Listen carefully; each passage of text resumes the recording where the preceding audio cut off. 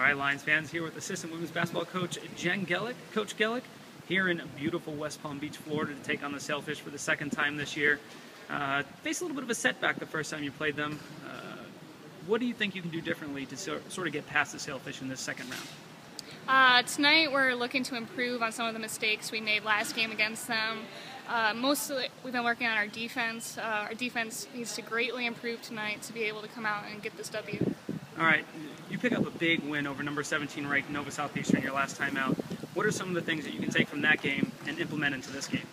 Well, we worked on improving our defense for Nova. Nova, we played great defense. We also scored very well and moved the ball a lot and uh, won, and that was a big team win. So we're looking to do that same thing tonight. All right, what are some of your keys to victory outside of defense? Tonight, uh, we're looking.